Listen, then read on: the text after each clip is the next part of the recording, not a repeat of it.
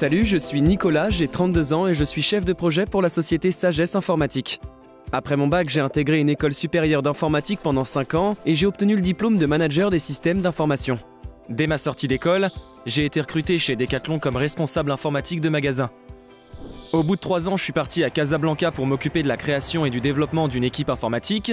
Dès la fin de cette mission, j'ai quitté Decathlon pour me tourner vers un poste de chef de projet. Je travaille aujourd'hui dans une société qui édite des logiciels. Parfois, des clients sont amenés à avoir des demandes très spécifiques.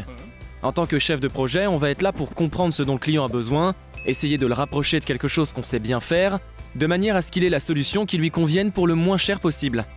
Nos clients sont principalement des PME, mais il arrive aussi qu'on travaille avec des TPE ou des collectivités. C'est un métier où il y a beaucoup de collaboratifs et de partage. On échange avec énormément de personnes avec qui on va travailler sur du moyen terme. C'est un métier très enrichissant, on va apprendre des choses en permanence. Comme beaucoup de jeunes, j'aimais vraiment le monde du numérique.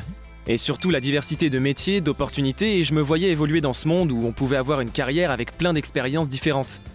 Il y a une chose que j'adore, c'est le fait de rendre accessibles des notions qui peuvent paraître complexes. Dans ce métier, pour que le client fasse vraiment le meilleur choix, et qu'il soit satisfait demain, on est obligé de vulgariser. Ce poste m'a appris à être à l'écoute du besoin des personnes. Un client qui appelle agacé, qui nous submerge de questions, c'est pas un casse-pied. C'est juste qu'il a besoin d'être rassuré. Si on prend le temps de comprendre ses inquiétudes, c'est un projet qui va rouler.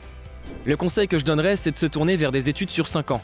Idéalement, une école d'ingénieur. Ensuite, quelle que soit la nature du métier, plus on va être curieux et prendre des initiatives, plus on a de chances d'évoluer vers un poste de chef de projet. Je conseille d'avoir quelques années d'expérience avant de passer sur un poste de chef de projet. On va mieux comprendre les enjeux, le dérouler, et on aura plus de facilité de se mettre à la place des personnes qu'on va guider. Ensuite, on peut évoluer vers un poste de responsable d'équipe. Une des qualités pour ce métier, c'est avant tout l'esprit de synthèse. On va arriver dans des projets qui sont parfois déjà en cours et volumineux, et il faut savoir faire le tri entre l'essentiel et le reste. Si j'avais un super pouvoir, j'aimerais arrêter le temps. Quand on a un client qui nous submerge de questions et qu'en plus ils sont nombreux, parfois on aimerait juste dire pause et prendre le temps de répondre à chacun.